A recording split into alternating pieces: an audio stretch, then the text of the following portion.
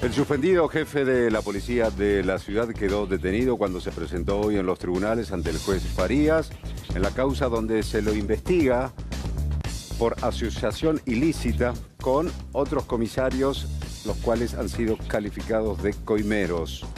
Todo esto tiene que ver por las comisarías ubicadas en los barrios de Núñez y Saavedra.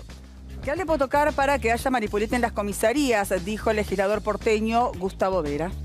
Campagnoli sabe muchísimo de cómo funciona la mafia de la jefatura policial por dentro, por lo tanto estoy convencido de que esta causa recién empieza y que Potocar todavía está a tiempo de hacer lo que dijo anoche en un programa de televisión. ¿sí? Que si la situación se le complica, tiene que empezar a hablar. Es hora de que empiece el manipulite en las comisarías.